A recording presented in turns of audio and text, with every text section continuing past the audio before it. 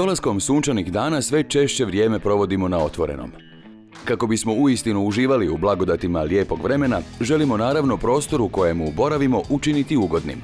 Vanjske terase, osobito one nadkrivene i s drvenim namještajem, potrebno je stoga obnoviti, a drvetu vratiti izgubljeni sjaj. Drvo je zahvalan materijal jer bez obzira na trendove nudi dugovječnost i kvalitetu. Kako ovoga puta obnavljamo nadkrivenu terasu, a bez potrebe da mijenjamo njen tlocrt strukturu, poigrat ćemo se s mogućnostima bojanja, ali prvo ćemo drvene konstrukcije pripremiti za obnovu. Obiteljska terasa namijenjena je druženju, blagovanju, pa čak i pripremi jela. No već nekoliko godina drvene klupe, stol i nadstrešnica nisu obnavljani. Kako bi ovog proljeća obitelj mogla uživati u boravku na otvorenom, počinjemo s renoviranjem. Evo samo da prođemo boje koje sam odabrala, znači stavit ćemo nijansu bora nadstrešnicu, a za klupe i stol sam odabrala nijansu oraha, može? Može u redu.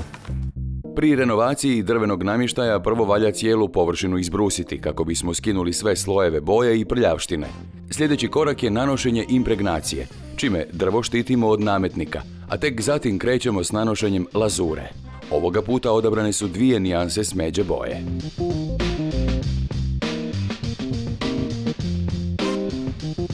Lazure su poluprozirni premazi koji omogućuju da struktura drveta ostane vidljiva.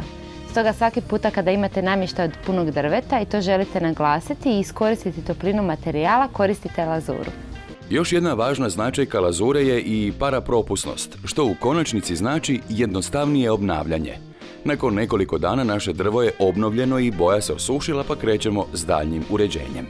Budući da svi želimo što prije izaći na terase, odabrala sam sve što nam je potrebno kako bi osigurali boravak na otvorenom već u rano proljeće. Svakako ne zaboravite na jastuke za sjedenje kako bi vam bilo toplije, a oni hrabriji mogu se odvažiti i poput nas ispod nadkrivene terase smjestiti tepih. Inspiracija za odabir ostalog namještaja i detalja bilo nam je naravno proljeće, pa ćemo sve pripremiti za prvo druženje na otvorenom. Naša preporuka je da svakako terase ispunite biljem, koje uljepša svaki prostor, a zatim krenete s detaljima. S međim tonovima namještaja pridružili smo šarene detalje u zemljanim i pastelnim bojama.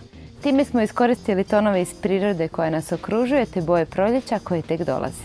Za večernji boravak na terasi preporučila bi vam korištenje lampiona. Osim što će biti izvrsna dekoracija, stvorit će romantičan ugođaj. Kao osnovu odabrali smo drveni materijal, čije smo tonove osvježili. Izabrali smo dekoraciju koja se nadovezuje na koncept druženja na terasi. Keramičke svjetiljke i obješene žarulje unose opuštenu atmosferu potpunjenu ugodnim jastučićima i tepihom. Njime smo unijeli boju i živost, dok smo duh elegancije proljetnog piknika naglasili keramičkim posuđem s cvjetnim motivima.